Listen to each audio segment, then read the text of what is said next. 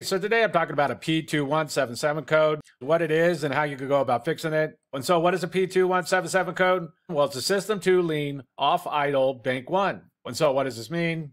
Well, basically, there's what's called oxygen sensors, and they're located down the exhaust, and they do two things. The first thing they do is they monitor the catalytic converter and the second thing they do is they monitor how much oxygen was burnt off during combustion, and the computer uses that information to adjust the air fuel ratio mixture that's going into the cylinders. But when you get this P2177 code, this Bank 1 Sensor 1 O2 sensor is reporting back to the computer that the engine's running lean for some reason, which means that the air fuel ratio mixture is off. There's more air going into the engine than should be. So it's going to be troubleshooted to know why.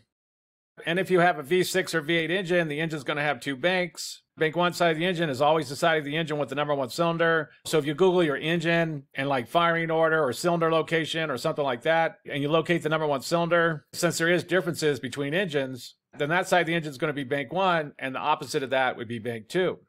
And one thing to note about this P2177 code is that sometimes it can be kind of difficult to troubleshoot because it could be caused by so many different things. So be sure to keep that in mind. Also, if you're getting any other codes, be sure to pay attention to that because that can help point you to what the problem is. And so, what are some possible causes of a P2177 code?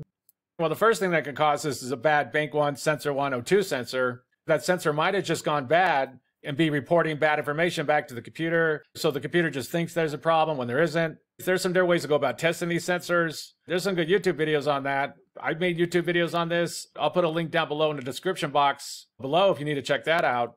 And the basics of what's going on with these O2 sensors is that there's going to be two on each bank of the engine. Sensor one is going to be located before the catalytic converter, and it's also called the upstream O2 sensor. And sensor two is going to be located after the catalytic converter, sometimes right on it, and it's also called the downstream O2 sensor. Sensor 2 is mainly helping to monitor the catalytic converter. So the main sensor to go and check when you get this P2177 code is going to be this Bank 1 Sensor 1 O2 sensor. And the next thing that could cause this is an exhaust leak. And basically, if there's an exhaust leak, then air can be getting into the exhaust and it's causing those O2 sensors to get a bad reading. It's just throwing everything off. So be sure to be on the lookout for any kind of exhaust leak because if there is, then that can cause problems. And the next thing that could cause this is that the engine is running lean for some reason. And this is where it can be kind of difficult to troubleshoot. So the first thing to do is to pay attention to any other codes you might be getting. So, for example, if you also got like a P2296 code, fuel pressure regulator 2, control circuit high, then in that case, it's a good idea to go do some tests on that fuel pressure regulator because very likely it's gone bad or there's some kind of issue there that's just throwing everything off and causing the engine to run lean. If you have a V6 or V8 engine, then pay attention to whether or not you're getting any codes on bank 2. Because if you are getting lean codes on bank 2, then that would point to something that would affect the whole engine. But if you're only getting lean codes on bank one, then that would only be something that would affect bank one.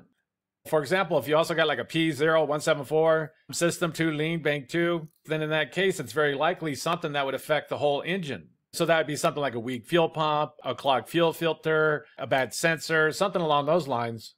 But if you are only getting codes for one bank of the engine, then that would point to something that would only affect that side of the engine. So that would be something like a bad injector or something along those lines. If you're not getting any other codes, or if you're having problems trying to figure out if the engine is running lean or which cylinders are running lean or things along those lines, you can remove the spark plugs one at a time and then check to see how the tip is burning and then match them to a spark plug burn chart to check to see if one or more cylinders is running lean because you can't check to see how the cylinder is burning by checking to see how the spark plug is burning.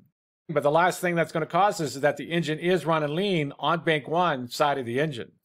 And so that's basically it. I just wanted to give a basic overview of how you go about fixing a vehicle with the P2177 code. If you have anything to add, please comment down below. If you have any questions, ask me. I'll try to answer them. If this video helps you, please click like, please click subscribe, and have a good day.